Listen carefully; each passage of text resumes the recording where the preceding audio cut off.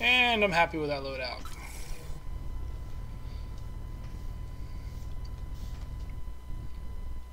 Where's Peebee?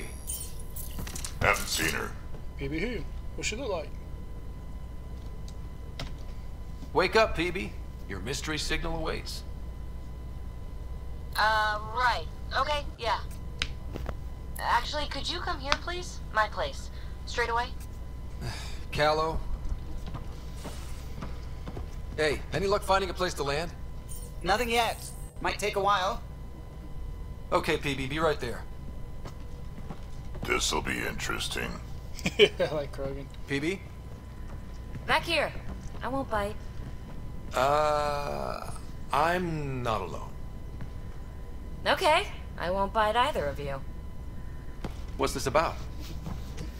Kallo won't find a safe place to land the Tempest.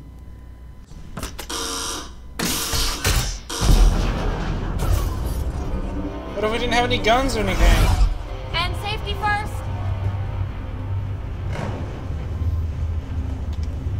Safety first. You've got to be kidding. This crosses the line, Peebee.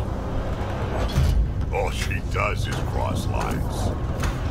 There was no other We'll choice. go the Tempest can't go where we need to be, and you can't get there from the ground.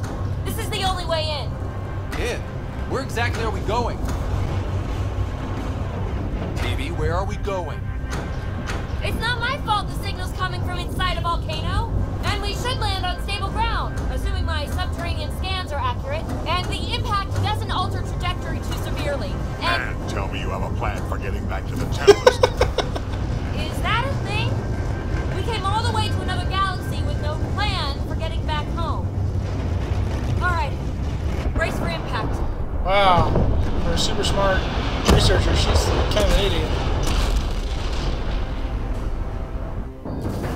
So, um, are you mad, Ryder?